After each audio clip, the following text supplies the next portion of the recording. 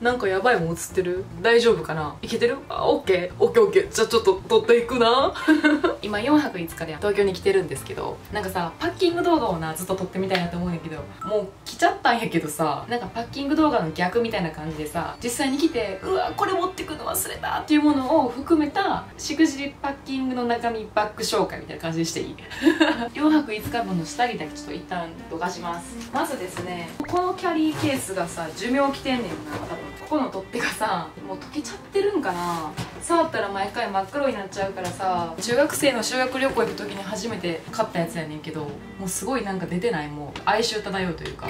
で見てこのくっそダセえハンカチ。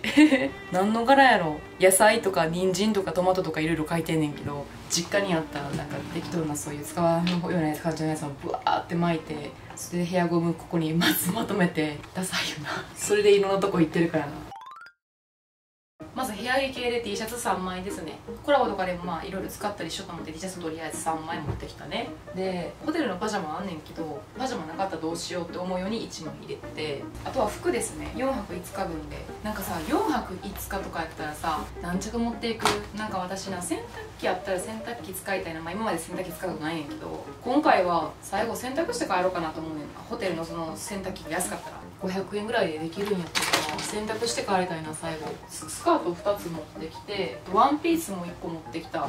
やっぱ旅行の時ってワンピースめっちゃいいよな。可愛い子ブランでいい旅行とかやったらもうマジでダラーンってしたワンピースで一生おると思う。前もさ沖縄行った時お母さんと行ったからさなんかもう別におしゃれもせんでええわと思ってずっとなんかワンピースずっと着まくってたな。ワンピース入れます。なんかさ人と会う時ってさ相手は自分の服を覚えてるか分からへんけどこっちはさあの人に会った時これ着ったよなって覚えてるやん。だからまた同じ服着たこいつって思われたら嫌やなとか思っちゃうやんか。明日会う人にさあれ？この前もこの白ワンピース着ったやんって思われそうやからえどうしよう？今どうしよう？ってめちゃめちゃ悩んでんねん。だから今日一回洗濯をしてこれは明日もう一回着るべきか。っていうの今日めっちゃ考えててんな。ない？そういうの。もう着たやつで申し訳ないねんけど。これも1日目に着たやつやから洗濯するやつ。これもワンピース1個持ってきてんな。とりあえず4泊5日分持ってきたけど膝からその下の足見せるかどうか悩むから一応このズボンと合わせようかなと思ってこれも持ってきた。マジで GU のルックブック取ってから私。な GU の服ばっか着てんねんけど今日はこの格好で行きますね。かわいいやろ。てかあの宿毛矯正当ててちょっと髪の毛サラサラやね。あとはオーバーパンツ系ですね。下着が見えへん用のあれですね。パンツですね。歴史の靴この運動靴できてなんか旅行先で靴のトラブル起こしたくないのか。だから運動靴ちゃんと持っていこうと思って。私結構運動靴履き慣れた靴をいつも持っていくねんけど。でもまあ一応なんかおしゃれっぽい感じの靴も持っていっとくかなと思って。自由のこの前動画で使った靴やねんけどこれをあの究極のブロッコリーの袋に入れてきました。めっちゃ急いでマジで入れてきたからなんかとりあえずなんか入れよう思っても究極のブロッコリーの袋にバー入れてだからあのあれやわ。ありがとうございますっていう回までついてるわ。そしたら2足持ってきました。もう全部このまま入れてんねんな。みんながどういう感じで入れてるか分からへんけど私はもうこういう感じで。もう全部そのもうザバーンって入れてる。あと私今回大浴場のあるところに泊まってるので、まあ、お風呂に持っていくとかまあ他にもなんかどっか持っていく時に便利かなと思ってトートバッグも持ってきました。あとガジェット系やなパソコンとこのね。パソコンスタンド。大事な大事なパソコンスタンド。をパソコンのカバーを何もつけないままいつもこうやって入れてます。そのまま直で入れてます。一応パソコンをね予備で2つ持ち歩いてます。これホテルでぐだぐだ動画見ようと思ってそれ用に持ってきてんけどマジさここ最近さなんか寝落ち癖がやばくて。やばいね。んそのせいでこのニキビがやばないこのここ。おでこさ最近さセンター分けにしててんけどおでこのここもニキビできて。で顔のここもさわかる？見える？ニキビできてきてんねん。ここのホテルは夜の夜食サービスみたいな感じで醤油ラーメン無料でサービス食べ食べさせてくれるっていうのがあってラーメン食べてその後すぐもう横になって爆睡したら夜中にさ覚醒しちゃってめっちゃ寝ぼけたままドア開けてあの自販機行ってなんか炭酸のジュース飲みたいと思ってデカビタも買って一気に飲んででまた爆睡するっていう。で朝起きたらこんなんなっててもう最悪ってなった。こんなにいっぱいブツブツってきたの。めっちゃ久しぶりやねんけど。だから最近前髪なしの部屋をしててんけどいやこれは絶対前髪やった方がいいと思って。今日は前髪を作りました。HDD とかね。あと充電器とか。カメラの充電器あと今そこのカメラをつける三三脚もねもうこのボーンって言って持ってきてんけどこれは今日は外で編集するからこっちに入れましょう。これバッグおしゃれにアーペンセットが買ってやがるの。私もともと3万円するバッグが2万円ぐらいのセールになったから買った。セールってすぐ言っちゃう。しかもこれメンズ用。でもかなんか頑丈そうでいいなと思って買った。お次はまあ女子っぽい美容に行かせていただいてもよろしいでしょうか。まずコテを持ってきました。両方サロニア。別にサロニアにこだわりとかがあるんじゃないけど気づいたらサロニア買ってるってか。アマゾンのなんかレビューが見たら調べていつもいいのがサロニアやねんなマジカメラ撮らへんかったら私5日後に帰る時もうぐっちゃぐちゃになったと思うからよかった。こうやってカメラ撮ってて。あとウエットティッシュ。大事ですよね。次あの忘れてきたもの紹介していい？まず無印の買ったやつにカミソリ入れてて一応。でコンタクト4泊5日分やからまあまあ何かあった時用のために6日分入れとこうかなと思ってここに入れてます。化粧水さ私アホなんかな？なんでこれ1本だけ持ってきたんよ？なんで乳液とかクリーム持ってけへんかったんやろでしかもさ今お肌のトラブル起きてるやん。で化粧水しかないの。だからとりあえずこれだけすっごい叩いてるんだけどはいみんなこれ見てるみんななんか次どっか行く時絶対乳液とクリーム持って行って絶対今入れてもし一緒にパッキングしたら絶対に入れてクレンジングバームを入れてます。ヘアオイル私はもう必須なんでヘアオイル入れてます。私はアメニティの歯磨きじゃなくてもう絶対このオーラ2のこのピンクが大好きやからこれがなんか旅行先でさ歯磨き違うかったらなんか落ち着かへんくない？あのどんだけねこの見た目がねドスーンとしたような感じに見えても多分細胞レベルまでいったらもうこうどうしようどうしようみたいな感じになってると思うからその細胞レベルの私を思っていつも通りの歯磨きをあれを持ってきました。あの下下をこうやってあの磨くやつも持ってきた。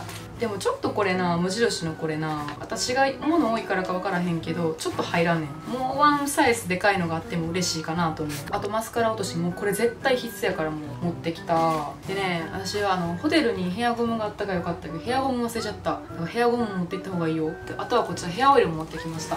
ヘアオイル絶対これ系に入れとかないとね。私はでもこっち側に入れたら歯ブラシがめちゃめちゃこのヘアオイルのあれめちゃめちゃついてた。髪の毛のワックスとか忘れがちじゃない？私よう忘れるのがワックスとかまあこういうヘア系のやつヘアセット系のやつ。あとパソコンの充電器めっちゃ忘れる。今回は持ってきたけどもうみんな充電器絶対忘れたらもう絶対高く買っちゃうから充電器も忘れんといて。OK? ああいう OK? ちょっと今日あれはなんか外にさ聞こえてるかもしれへんか。何一人でずっとブツブツ喋ってんと思うかもしれへんが控えめな感じで喋ってる。最後化粧道具やな。これメイクの筆買った時にさついてくるなんかこういうあれやんかケース。これに全部合計を今日はぶち込んできた。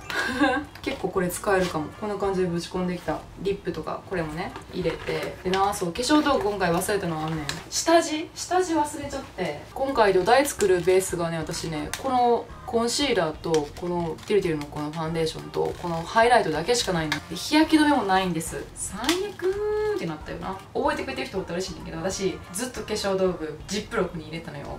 でもそのジップロックが今家にないの。もう使っちゃって。買ってきてなくて。だからちょっとおしゃれにイソップのこの袋に入れております。ジップロック卒業しました。一時的に。でもジップロックって衛生的にめっちゃいいと思わん？私結構友達とかにジップロック勧めてるかなでもえメイクポーチより衛生的にいいのはジップロックやで？って。どんだけバカにされようがジップロックやで？って。あとアイシャドウを黒くするやつ。チーク。であのほら結構なかったら困るやつ。目薬。目薬も忘れといて。これかな？私が忘れてきてちょっとあーってなったのはだから今パッキングしてる人とかこれから荷造りするっていう人ほんまに忘れんといてほしいこちらの私の現地からは日焼け止めとあの乳液とかクリームを忘れましたのででよく私がいつもド定番にいつも忘れてくるものは充電器目薬。で私も今回メガネを持ってきてない。メガネが潰れてまだ変えてないから。だからそれもぜひとも忘れといてほしい。マジしくじり先生やで。今日は人と会った後に編集するので一応ファンデーション入れてリップ入れてここ今オペラとセザンヌをね重ね付けしてます。でエアポッツ。で香水ですね。めっちゃいい匂いするディクティックの香水。ちょっと瓶持ち歩くの怖ない？一応箱に入れとくな。あとお財布ですね。ちょっとお財布がちょっと汚いので領収書だらけ。これお財布を入れます。以上かな？ほんでねいつもまあカメラはすごい私の中でも超大事なアイテムなのでいつもこのねカメラはインドでぼったくりされた時に買わされたこのサリーでいつもカメラを巻いてここに入れてます結構サリー使って風呂敷みたいな感じで使ってね洗濯するやつを最後巻くとかそういうのもあるし結構私ね旅行行く時このサリーめっちゃ持ち歩いてる。でまた洗濯して使って。多分持ってる人少ないよな。こんな感じかな。私の旅行の What's in my bag めっちゃ私の動画見てくれてる人やったらもう多分多分分かってくれると思うねんけどお土産をもう食い散らかしました。その東京来るしお仕事で会う人とかあとコラボする方とかに関西のお土産渡した方がいいんかなと思って千住せんべいめっちゃ好きなんですよ京都の。ラムネ味があってなんかこれコンパクトですごいいいなと思って今からそのお会いする人にまあ渡そうかなと思って持ってきてんけど私今女子高等校期間前でめっちゃあの植えてるんです食欲に。みんなから人間見えるかもしれないけど私今ゾンビなんです。だからラーメンも食べたくせにホテルでこれ見てでもあもう明日の人も別にあげんくてもよはそうあよはそうってなってお土産渡すほどの別に中でもないしな。なんかラムネ味やからもしかしたらお口に合うか分からない。私が多分味見した方がいいな。ご飯をね一日は我慢してんけどその次の日はダメでしたがもしさ画面の向こうでさそんなことしたことでよっていう方もいらっしゃると思うけど、まあ、なんかさこう普段生きてて絶対こんなんしてるの自分だけやんとかうわこんなんすんの多分絶対こう人間的によろしくないような良心的じゃないよなと思っても日本のどっかにこんなやつがおるから多分マミヤでもこんなことしてるよなっていう感じでうん、みんなでなんかこう赤信号を渡っていこうや。で私ねマスク忘れてコンビニって買わないとこなとって思ってるんですよね。最後みんなマスク忘れんといて絶対。よろしく頼むな。このな取っ手のなこの果物みたいななあの AKB の。野菜トマト人参ウォーウォーシスターって流れてくる。赤ピーマンほうれん草みたいな。ナスにこぼ人参かぼちゃん。なんやらららららら。これが歌える人みんな同世代。っていうことでめっちゃいい感じに荷物がまとまった。みんな見てくれてサンキューな。じゃあ今日も見てくれてありがとう。バイバイ。